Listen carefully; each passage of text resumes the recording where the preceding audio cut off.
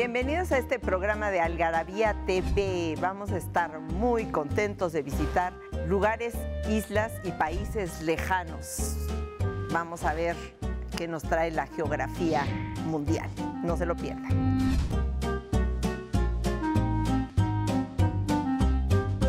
Pues sí, aquí estamos en otro programa más de Algarabía TV y vamos a hablar de islas extrañas, de lugares recónditos que a lo largo de todo nuestro trabajo en Algarabía vamos descubriendo poco a poco y de repente alguien trae unas y luego nosotros traemos otras. Y estas, por ejemplo, las Channel Islands, que me parecen un- una cosa rarísima, ¿no? No sé si ustedes están de acuerdo, que son Jersey, Guernsey y tienen Alderney y algunas más chiquitas. Pero chirriquitinas de tres habitantes casi casi.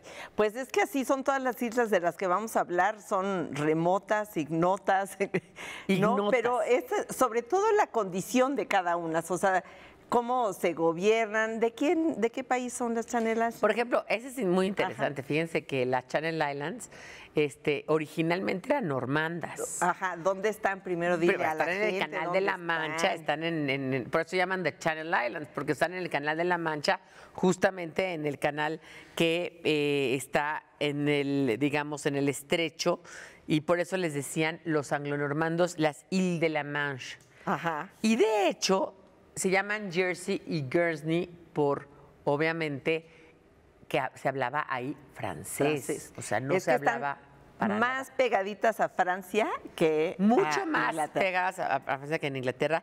Y resulta que cuando Guillermo el Conquistador, en el año, hablábamos el otro programa, en Ajá. 1066, se convierte en rey de Inglaterra, pues las islas siguen siendo parte de Inglaterra, aunque eran normandas originalmente. Ajá. Entonces se sigue hablando ahí. Bueno, él era normando.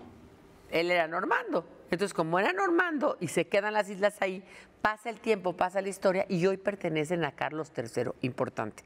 No pertenecen a Inglaterra, no pertenecen a Francia, pertenecen a Carlos III, o sea, a la corona británica pertenecen estas O sea, islas. se fueron heredando de rey en rey en rey, en rey Exactamente. hasta nuestros días. Esas islas, ¿por qué son famosas? Bueno, pues son famosas por cuatro cosas básicamente. Una, porque el jersey, que es en España, o los jersey, que decimos ajá. algo de jersey, es todo un suéter que estaba hecho de ovejas de lana Ah, merina, de- que, eran, o merino, ¿no? El, ganado merino, que dicen merino por marino, que estaban ahí y se hicieron los primeros suéteres y por eso se llaman islas, este, este, eh, digamos, la jersey se llama un jersey que viene de Ajá. ahí. Dos, No hay, una porque canción, tienen... no hay una canción de... Y jersey amarillo, ¿no?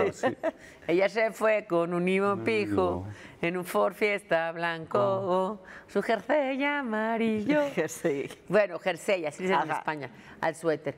Y por otro lado, es también interesante en ellas que se hace, eh, tienen además un récord de, eh, de menos turistas en la historia, porque la gente no va, no visita a ese Nadie lugar. los entiende. De hecho- Nadie los entiende porque hablan una lengua que ni es francés ni es inglés. Hay una, una película de Guernsey que, era favor. una cosa, una novedad rarísima que llegara un visitante. Se las, se las eh, súper Ajá. recomiendo, pasa la Segunda Guerra Mundial. Despuésito de la Segunda Guerra justamente Mundial. después de la Segunda Guerra Mundial y se llama eh, el- La aventura del pastel de, del pie de cáscaras de papa de Guernsey. Buenísima película. Ajá, sí. Y hablan este idioma extraño que no sabemos ni quién es. Otra de las cosas que las hace muy, muy especiales es que se vende una mantequilla negra y todos pensarían que es una mantequilla hecha con la, lana- con la leche de las ovejas, pero no, no es así. Es pura manzana, ma- una confitura de manzana con mantequilla que queda muy, muy, muy mermeladosa y se la ponen al pan y dicen que es una delicia. O sea, es pan Debe con mantequilla de mermelada, qué cosa. Qué cosa deliciosa. cayó la ¿no? baba. Sí, exactamente. Y no, Oigan, se, no, no se han de entender de entre una isla y la otra. no ¿eh? se No, entienden de una isla y otra porque pues, son totalmente diferentes lo que dicen en Alderney, que en Sark, que en Hearn y que en Bershu. Aquí están todas en Algarabía. En esta Algarabía la pueden ustedes localizar en Algarabía 210, que la pueden comprar en algarabía.com. Y eh, pues como no hablan ni una lengua ni otra. Mira, ahí pues, están en el mapa, ahí están. Aquí ahí está el mapa, ahí viendo. están. En Alderney se habla, se habla Oregarné, ¿no? En eh, Guernsey se llama Guernesey o Guernesey o Guer- Guernsey Norman.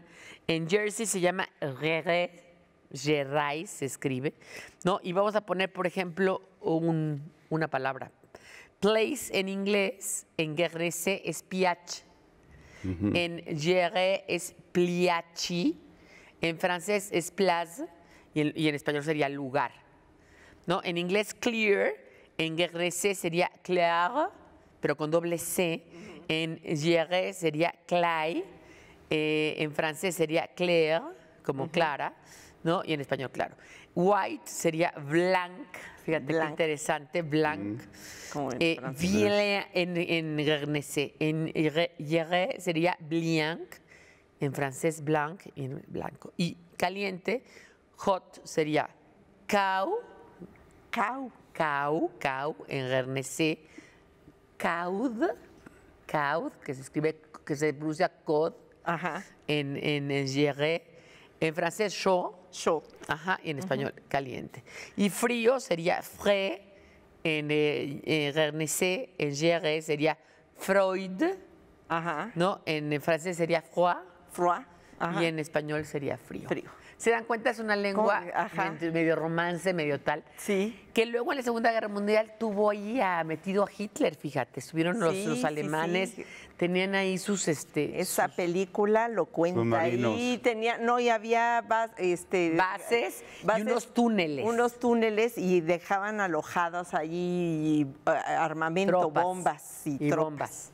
Exactamente. Bueno, ¿y quién es la persona más famosa de esa isla, de Jersey? Es Henry Cavill, que si no lo conocen, chicas, vayan ahorita a googlearlo y pongan todas las imágenes de él, porque creo que es el hombre más guapo del planeta. Famoso Superman, Henry Cavill. Y bueno, es, dice él que no le digan Henry Cavill, que él es Henry Cavill. Pues sí, pues, eh, ajá, pues. Y ah, él habla Jerry. Que aprendió inglés como cuando tenía 18 años. Ah, bueno. Fíjate qué inteligente soy y muy perspicaz. A mí se me hace que New Jersey, el estado de Estados Unidos, viene de Jersey de ahí. Fíjate que sí, Seguramente, caray, pero qué ya nos tenemos perspicaz. que ir a- al dato juvenil. Ahora platicamos más. La teoría más aceptada de donde se inventaron los trabalenguas afirma que comenzaron con los griegos de la antigüedad, quienes crearon pequeños poemas para la boca y la mente. Lo que hace complicados a los trabalenguas son los distintos fonemas. Un fonema es un sonido en particular hecho por la boca o la garganta de los seres humanos. En la lengua española tenemos 27 fonemas con 22 consonantes y 5 vocales, aunque en otros idiomas puede haber más o menos. El truco de los trabalenguas consiste en cambiar dos o más fonemas que se parezcan entre sí o ponerlos en diferente orden. La mente humana, siempre buscando organizar las cosas, se confunde y por eso nos cuesta tanto trabajo pronunciar frases como Pepe Pecas pica papas o el de los tigres, que esos ni siquiera me atreveré a decir.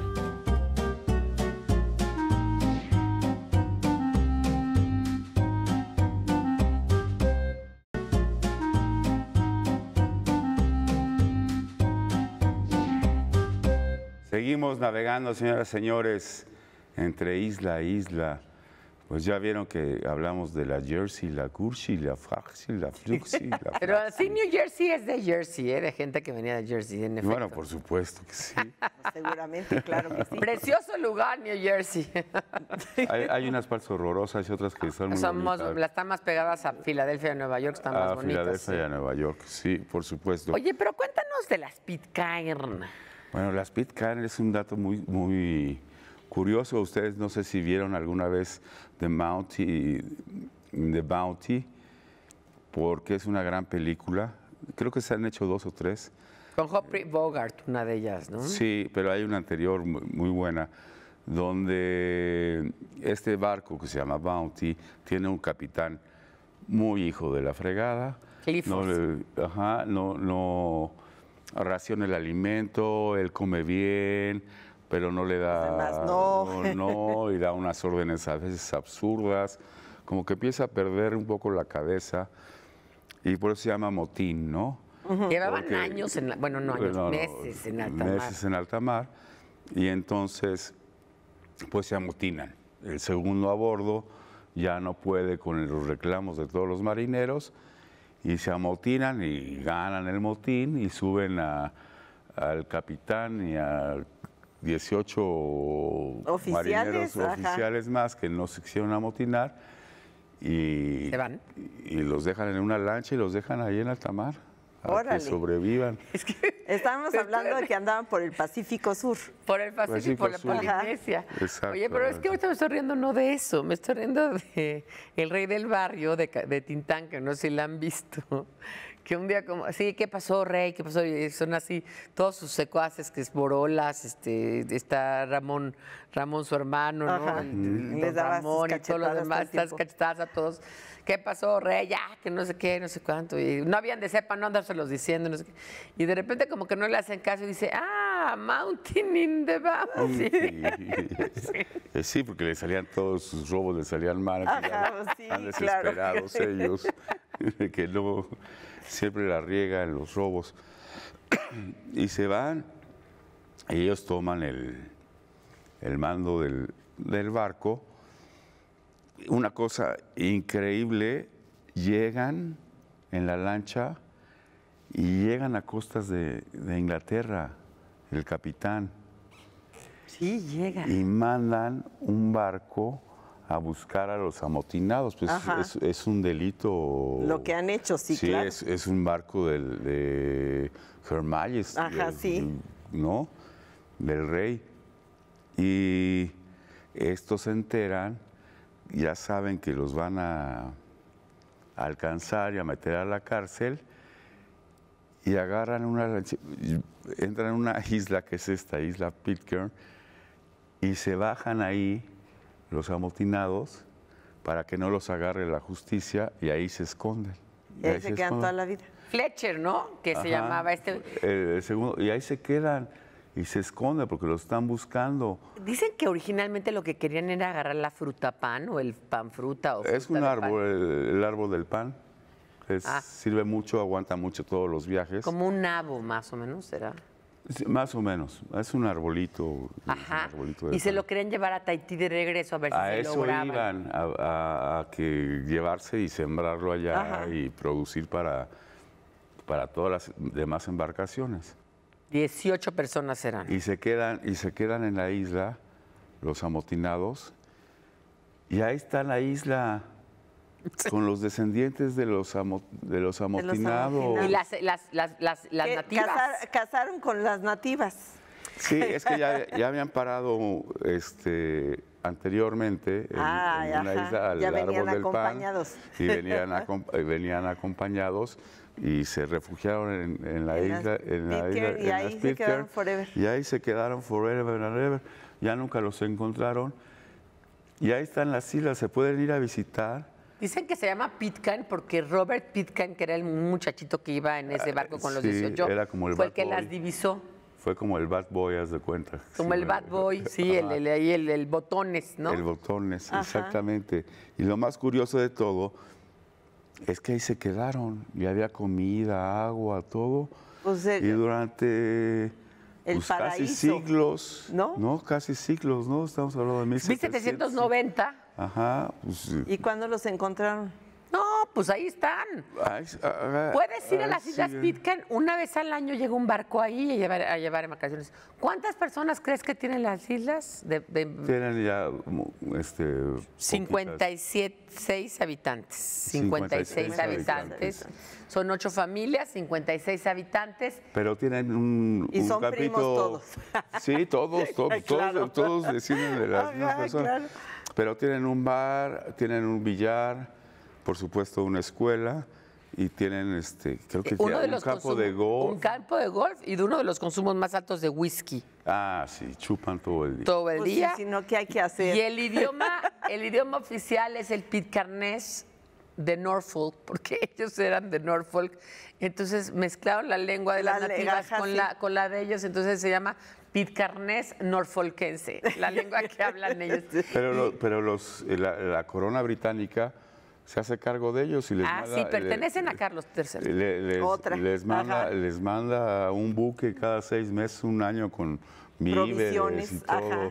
Y pueden entrar a la página y ahí dice, ¿No?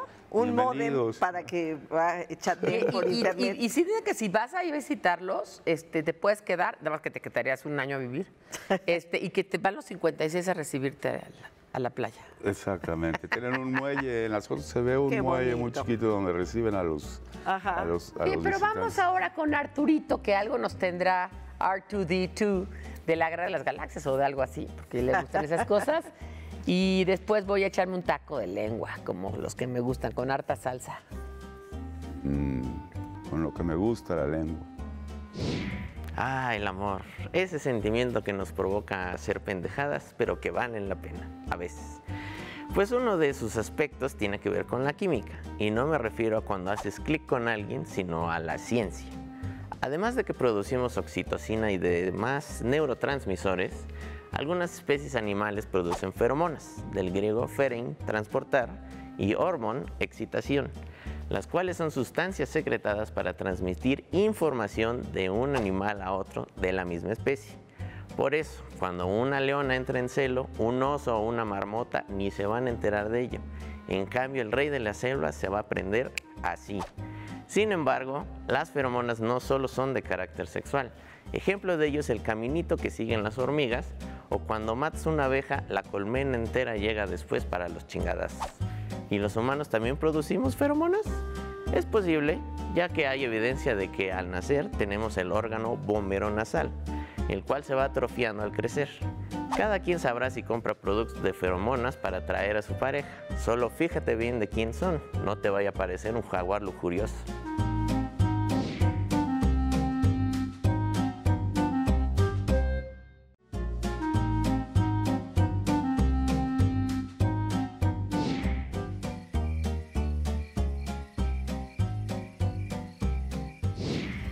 Yo, más que de una isla, les voy a hablar de un canal, del canal de la Viga. Calzada de la Viga es una calzada que está aquí muy cerca de donde estamos grabando el estudio Churubusco. Es muy, muy, muy cerca. Y esta calzada, bueno, pues era originalmente una, eh, un canal, el canal de la Viga, que comunicaba a Xochimilco con el centro de la ciudad y llegaba hasta donde está el Salto del Agua iban eh, todos los, este, obviamente la ciudad era lacustre, ustedes saben que somos una ciudad lacustre, iban todos en sus pangas, en sus, en sus este, trajineras, llevando diferentes tipos de productos para vender en el centro. Y había un momento, que es ahí justamente donde está la calzada de la viga, donde se ponía una viga, porque era la garita, donde tenían que paga- pagar aduana y tenían que pagar el dinero el impuesto por vender lo que tenían que vender. Entonces esa viga se ponía ahí para detener a las trajineras y por eso se llama calzada de la viga. Ahora ya lo saben. Qué padre es viajar por todo este mundo y el universo. No sé cuántas islas hay. Y ya me preocupa que la mayoría de las islas que hay en el mundo así perdidas pertenezcan a Carlos III en la colonia británica. de Bueno, por lo de menos corona. donde nació mi mamá no, cono- no pertenecen a la Las monarquía Canarias, ¿no? británica, pero a la monarquía española. Sí, y se llama La Palma y también está alejada de la vida de Dios. Pero Victoria, ¿vas a Yo tengo una? una que no es de Carlos III, es de los japoneses. Ah, es Japón, eh, pero Es sí es nipona, nipona. Sí, nipona, Sí, nipona, y sí. está ahí adentro del, está el mapa de, de Japón. Hacia la parte del sur como que se quiebra un poco la isla mayor y hay un puntito chirriquitito que se llama Aoshima o la isla de los gatos Neko Noshima que mide, tiene apenas una extensión de punto 49 kilómetros cuadrados. Y ahí está llena de gatos. ¿Cuántos Los son 90 gatos- metros cuadrados? Ajá. Los gatos son los principales habitantes, quedan pocos humanos que se dedican a cuidar. Hay gatos por todos lados, o sea, así como arena en, el- en la playa, hay gatos y están cuidados por los humanos que están Pero ahí. esos, hay leyes. esos humanos, los- es lo que te iba a decir, Ajá. esos humanos los tienen que, que alimentar.